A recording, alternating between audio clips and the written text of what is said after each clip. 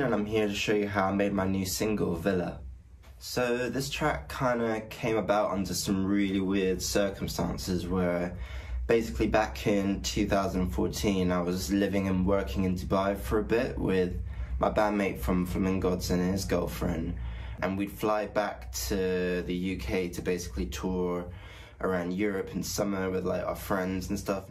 This one time we came back just to find that our apartment had been given away to someone else without the landlord telling us. So for like a month and a bit, we were technically just homeless, just moving from place to place in Dubai. We were staying with this married couple who had kids who were away at school, and we were basically just in their kids' rooms for like two weeks. I was living in a kind of really dingy apartment with 10 other people just sharing one bathroom and just scrambling trying to find somewhere to live. And then we finally found this amazing pad in the old part of Dubai.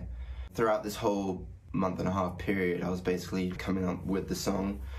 And yeah, it's essentially a way of processing that whole experience. So yeah, this is our Korg MS2000. Um, it's basically turned up everywhere on my solo stuff. I used um, this patch called MG Bass to do some of the synth lines. Um, this is the one that's at the very beginning of the track where it's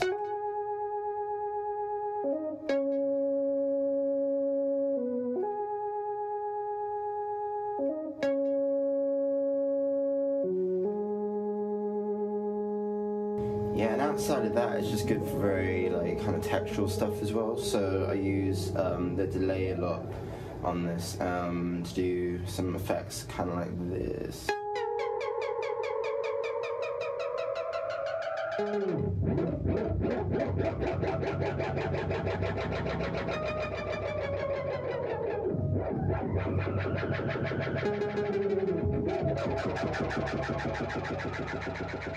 For the psychedelic solo that comes in like halfway through, I basically just laid up four different um, synths playing the same line but in different octaves.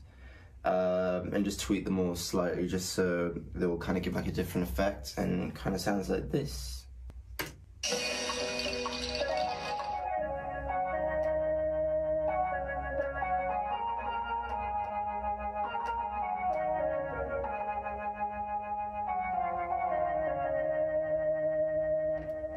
So this is the guitar I used. Um, it's Les, who I've had for like 17 years now.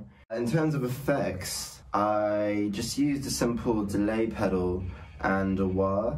The only kind of thing I did was basically just shake my leg quite a lot with the wah and I gave it this very kind of watery effect. Um, and it came out something like this.